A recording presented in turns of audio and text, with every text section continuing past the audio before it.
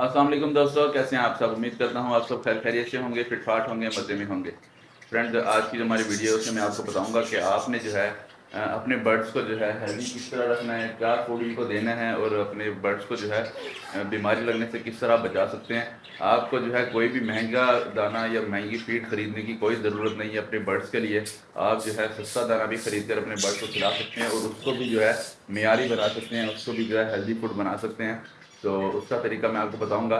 जब भी आप मार्केट से अपने बर्ड्स के लिए जो है कोई भी दाना लेकर आते हैं, किसी कबूतर के लिए लेकर आएँ या तोतों के लिए लेकर आएँ, मुर्गी के लिए लेकर आएँ, कोई भी दाना अगर आप लेकर आते हैं अपने मार्केट से जाकर तो सबसे पहले आपने उनको वो दाना नहीं देना।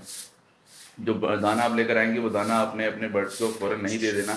आपने पहले उसको जो है अच्छी तरह साफ़ करना है। साफ़ करने के क्या तरीके हैं, वो मैं भी आपको वीडियो में बताने वाला हूँ।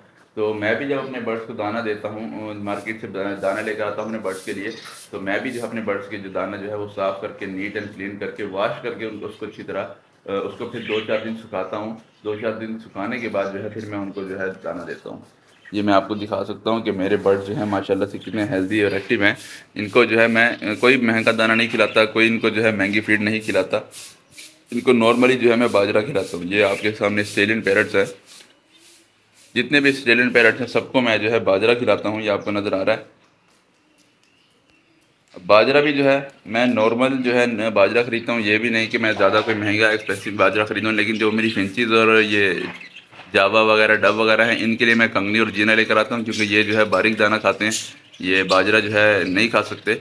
जावा को आप बाजरा दे सकते हैं, लेकिन बाकी फिंचीज़ और डब वगैरह के लिए जो है, मैं कंगनी और जीना लेकर आता हूँ। तो जब भी आप अपने बर्ड्स के लिए दाना लेकर आएँ तो सबसे पहले आपने उनको साफ़ क्लीन करना है। मैं आपको तरीका बता देता हूँ ये आपके सामने जो है बाजरा पड़ा हुआ है। ये मैं मार्केट से लेकर आया था।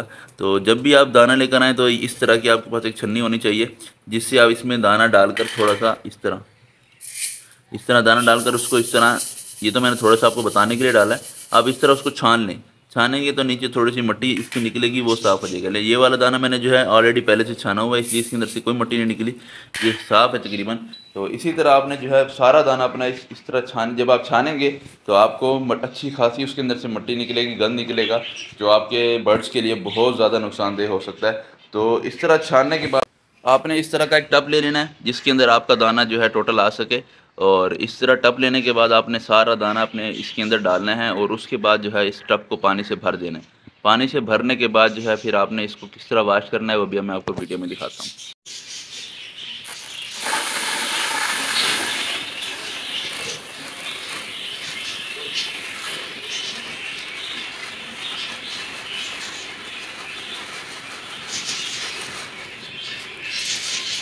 दोस्तों, इस तरह जो है तरह जो है आपने अपना दाना डालना है इसके अंदर, और अभी जो है इसके अंदर हम पानी भरेंगे।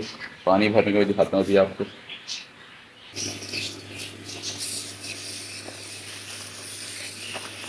इस तरह जो है आपने सारा पानी भर लेना है अपने कप के अंदर।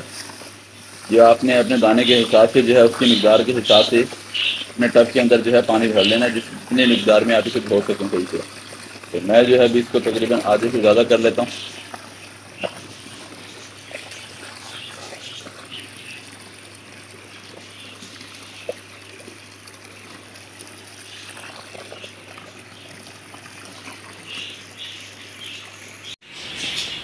तो दोस्तों, इस तरह जो है अपने टब में पानी भर लेना है अपने, और इस तरह अपने दाने को जो है सारा नीचे से उठा उठा के जो है इस तरह आपने अपने दाने को साफ़ करना है इसमें से।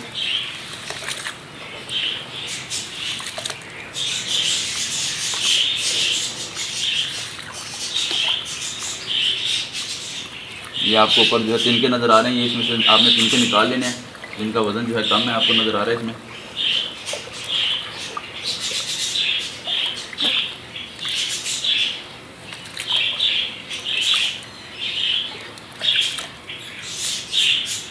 दोस्तों, ये आप देख सकते हैं, ये ये आपको पानी नज़र आ रहा होगा कितना गंदा हो रहा है। आपने अपने बर्ड्स को इसी गंदे से, इस गंदगी से बचाना है, जो आप इस तरह धोकर ही साफ़ कर सकते हैं। ये मैं आपको दोबारा दिखाता हूँ, ये देखें। कितना गंद, उस झाड़ने के, मट्टी निकालने के बावजूद भी उसके अंदर से इतना गंद निकला है। तो अभी जो है, ये वाला पानी जो है, जिससे अभी हमने धो है, उसको गिरा देंगे पानी को। इस पानी को गिरा के दोबारा फिर साफ़ पानी भरेंगे, फिर उसको दोबारा वाश करेंगे। इसी तरह आपने दो तीन दफ़ा करना है, उसके बाद अपना, आपका दाना जो है क्लीन हो जाएगा। उसके बाद फिर आपने दाने को खुश करने के लिए रख देना है। अभी थोड़ी देर तक आप इसी तरह अपने दाने को मसलते रहें, इसी तरह साफ़ करते रहें, इसके अंदर से गंद निकलता रहेगा। नीचे वाला दाना निकालें, ऊपर करें, उसका जो है गंद निकलता रहेगा इस तरह। दोस्तों, ये आप देख सकते हैं, मैंने एक जो है बड़ी सारी छन्नी मेरे पास पड़ी थी थी वो मैं लेकर आया हूँ। आपने करना क्या है, जब आप पानी गिराने लगेंगे तो पानी जो है, इसके अंदर आपने गिराना है, ताकि दाना जो है बहकर नाली में ना जाए, सिर्फ़ गंदा पानी इसमें से निकल कर जाए। तो अभी मैं आपको इसमें से डाल के दिखाता हूँ, आपने किस तरह इसको छानना है दाने को।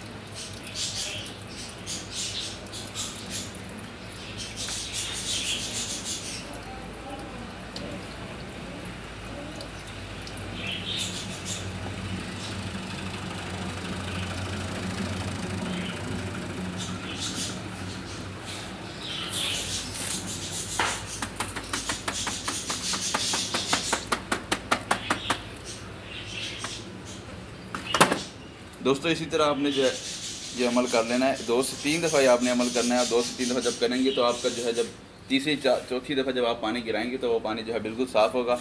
अब जो मैंने पानी गिराया है वो आप देख सकते हैं बहुत ज़्यादा गंदा है। ग्रीन ग्रीन इसमें से निकला है मट्टी बहुत ज़्यादा निकली है। तो दो तीन दफ़ा आपने ये अमल करना है दो तीन दफ़ा करने के बाद जो है बिल्कुल दाने का पानी जो है साफ़ हो जाएगा।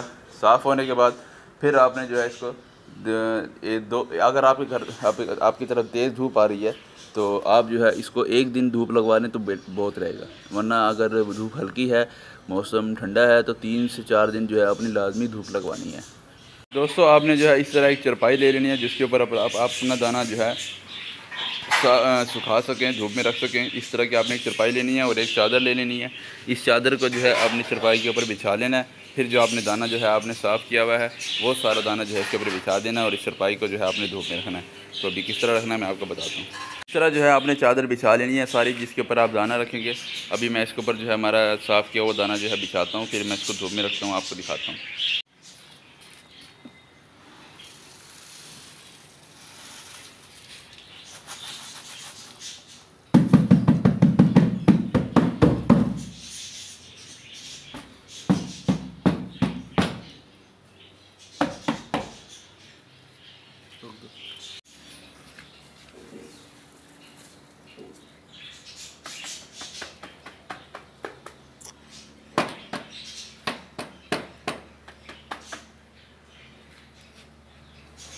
सारे दाने को चरपाई के ऊपर जो है इस तरह फैला लेना है, ताकि जो है वो दाना फैल जाए और जल्दी सूखने में आसानी हो और जल्दी सूख जाए।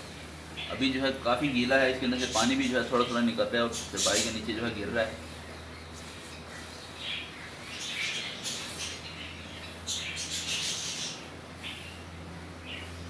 इस तरह करके आपने अपने सारा दाना जो है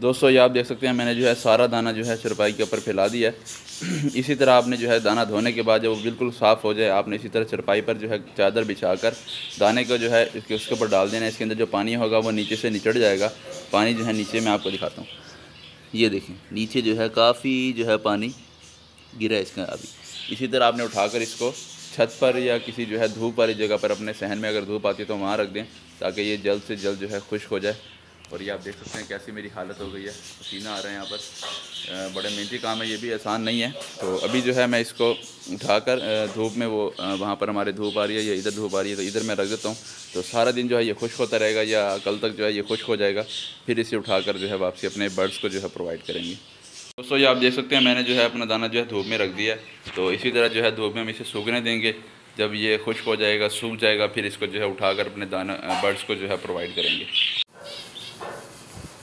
तो दोस्तों, उम्मीद करता हूँ आपको आज की वीडियो से फ़ायदा होगा और अपने बर्ड्स का जो है, आप इसी तरह ख्याल रखते रहिए। बर्ड्स के बर्ड्स के लिए जो है, बेहतरीन फ़ूड उनको प्रोवाइड करें ताकि बर्ड्स की जो है ग्रोथ अच्छी हो, वो आपको अच्छी ब्रीड दें।